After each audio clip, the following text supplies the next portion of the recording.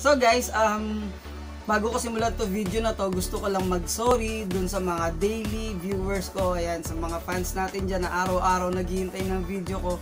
Hindi na ako masyado makagawa ng vlog araw-araw kasi guys, medyo naging busy ako ngayon dahil mas tinututukan ko yung pagtaas ng ating YouTube channel, pag-grow ng ating YouTube channel. So guys, ang good news dito, um, talagang ano na siya, na-reach ko na yung million views. Tapos, yun, sana yung subscribers mas tumaas pa siya. Okay? Guys, bakit ba? Dahil, eto ha, yung sweldo natin sa YouTube, hinihintay na lang natin, pinapalaki na lang natin yung, yung revenue. Okay? So, konting hintay-hintay na lang tayo. At, at makakamtan din natin yung tagumpay. Okay?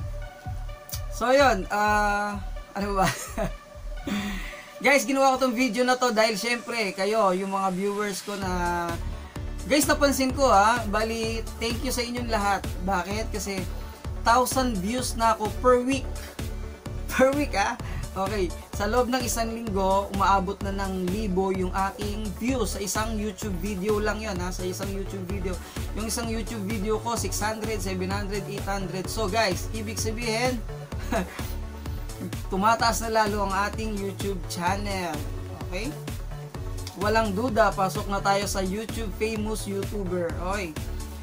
So, yun, balikan na lang natin ha. I-review lang natin yung ating analytic, yung mga statistic natin sa YouTube, yung mga, basta yun, yung mga ano natin. So guys, um, yun nga, road to 10,000 subscribers, million views na tayo. Um, ano pa ba?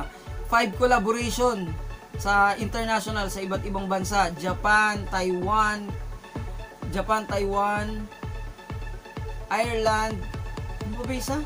Japan, Taiwan, Ireland, Canada, Philippines. So, lima. Tapos guys, ito ang malupit ha. 1,000 yung YouTube ad... ad Nabubulol ako. Libo yung 1,000 advertisers, advertisers natin o yung mga YouTube ads natin. Guys, bibigyan ko kayo ng proof ha. Ayan, itong mga sulat kamay ko na to na napakapangit. Ayan, pinagpuyatan ko yan, magdamag. Yes guys, magdamag kong isinulat isa-isa yung mga ating sponsor o yung ating mga YouTube advertisers. Kunwari, Shopee, magkalaban pa to. Shopee, Lazada, Globe, Smart, aba, magkakakompetensya, magkakasunod. Um, ano pa ba? Dami nito eh. Wyatt, Micropax, Uratex, Durex Philippines, at marami pang iba. Okay. So guys, etong video na to, uh, pag-uusapan natin, ano ba, bibigyan ko lang kayo ng lima, limang idea lang.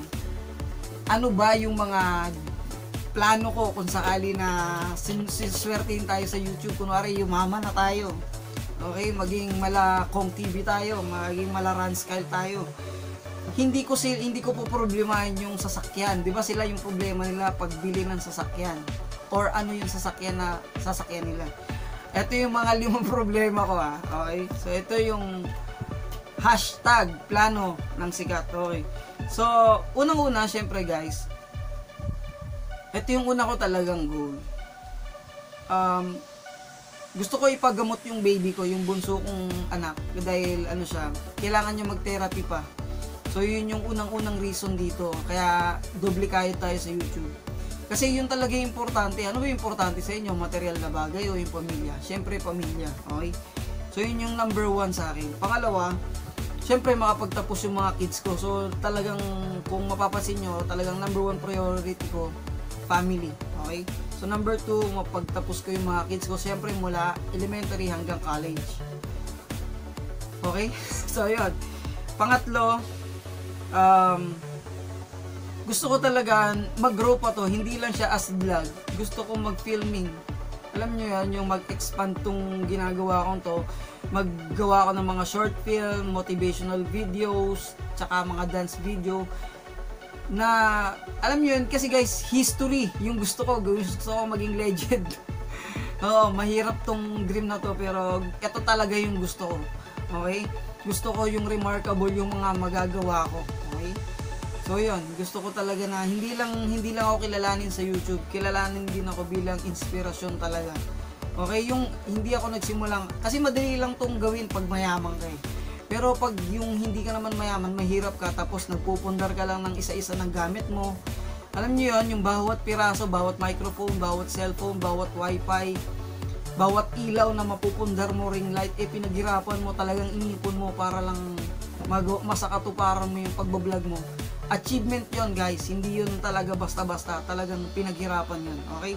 So yon idadagdag ko na rin dito guys, meron akong Future Dance Studio, hinihintay ko na lang 90 square meters ha. Gusto ko tong ano, gusto ko talaga tong kilalanin worldwide. Hindi lang sa Philippines, worldwide. Kumbaga gusto ko ma-establish and Dance Academy. 'Di ba syempre pag nasa YouTube ka, buong mundo na nanonood sa iyo, gusto ko dun talaga ma-establish yung yung dance studio ko kasi yung mga nakakakilala sa akin dati, guys, meron na akong dance studio, pero hindi naman to sa akin, inuupahan ko to sa Montalban. So, na-stop siya. Stop operation siya. Kaya ito, nagpi-freelance muna ako. Na-establish na siya or nakilala na siya. Na-interview na ako sa mga TV show, sa sa TV. O, o hindi ko na sasabihin ko anong channel, no? Uh, and then, interview na ako sa GMA, ABS-CBN, yung studio ko, dati sa Montalban. So, nakilala na siya sa Philippines. So, ngayon, yung ini-aim ko, kung suswertein, worldwide. Okay? Kasi guys, yung mga nakakilala sa akin, 'di ba, kahit ganito lang ako, international teacher ako eh, international dance teacher ako eh. So, ayo naputol yung dream na yun eh. So, gusto ko talaga siyang, ano, gusto ko siyang, alam mo yung i-upgrade. Gusto ko siya talagang, hindi lang ako yung makilala. Gusto ko dance studio, may mga bata. Alam mo yun, panglahatan talaga.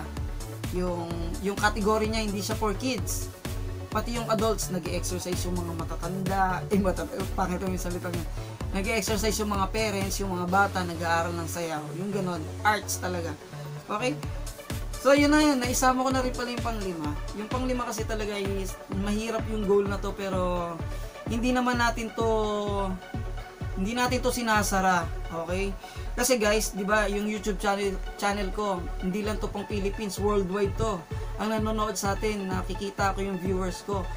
Marami rin sa ibang bansa. Okay? So, yon yung international, yung goal natin sa international, hindi yun na, ano, hindi yun nababali.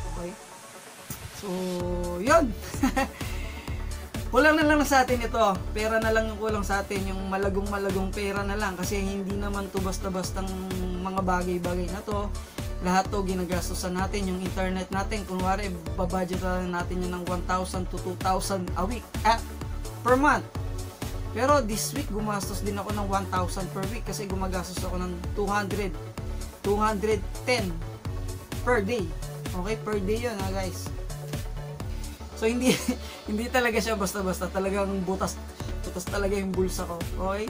Wala pa dito yung mga t-shirt ko, yung mga ibang ginagamit ko dito sa vlog na to. So guys, para matulungan nyo naman ako, dahil alam ko naman na nabigyan ko kayo ng smile ngayong araw na to, simple lang yung kailangan nyong gawin. Panoorin nyo tong buong video na to. Kung tinatamad kayo panoorin yung video na to, panoorin nyo lang kahit at least 2 to 3 minutes video bago nyo i-subscribe. Okay? Tapos, syempre, i-likes nyo na rin, mag-comment down below na rin kayo, at i-share nyo na rin tong video na to para boom, mas lumakas tayo. So yon um, good vibes to guys dahil kahit i-click nyo ngayon yung yung channel ko, 1000 views agad yung isa kong video ha. Yung ang title nun guys is weakness ko, yung mga kahinaan ko. Pero ang maganda doon, yung weakness mo, yun yung magiging strength mo sa family mo, sa sarili mo at kay God. Yun yung pinakamahalagang pinakamahalagang ano doon, matututunan mo doon sa video na yon. Tapos yung isa ko pang pinakamataas na ano, ano ba, ano ba? Nakalimutan Basta yung, yung isa pa na mataas ko na ano, yung tungkol sa ano-ano ba ito, yung 1000 YouTube ads ko. Ano-ano ba yung mga advertisers na lumalabas sa aking video. Yun, mataas din yung view. Obrigado.